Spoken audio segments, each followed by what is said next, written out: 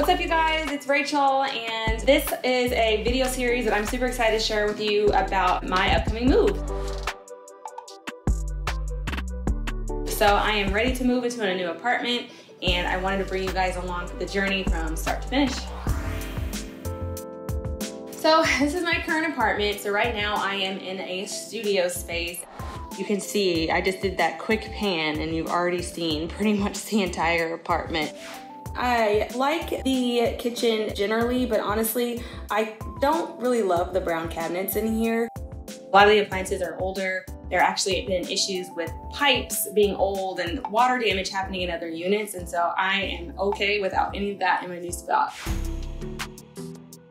So right now this location is not the best, I'm not gonna lie. The view is great, but that's pretty much it. I'm kind of on an island over here and I always get Ubers calling me saying they can't find me and I'm having to give them step-by-step -step instructions to get to me. Or I've just had drivers cancel on me because they can't find me and then they just give up. So I really want to be in the heart of Chicago and really just kind of be around where the action is. So my commute is easier, but then also close to shopping and restaurants and just kind of being in the heart of the city is really where I want to be. So to get through the process, I have a really good team of people that are gonna help me out, and that's my mom and my boyfriend Roosevelt. So my mom has been a realtor for years and years, so I know that she'll have really great advice, especially around kind of how to look at apartments now. Hey Rach, how are you? Good, how are you? I'm doing well. Good yeah. to see you.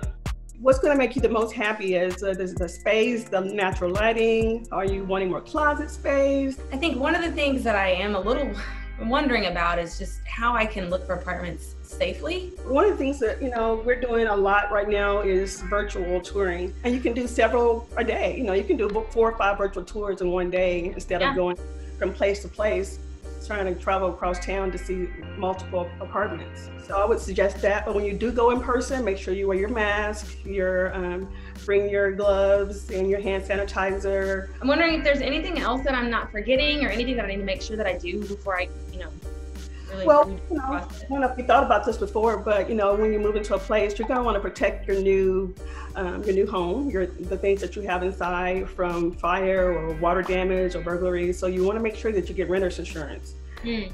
Make sure that the company that you choose has a really good app, and that it's easy to use, and to, you can make payments on there.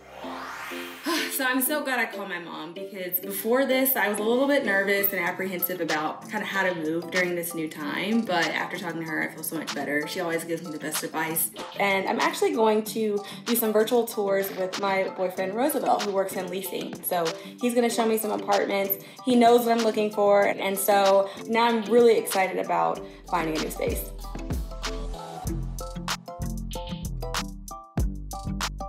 Thank you guys so much for watching and I hope you are excited for the next video.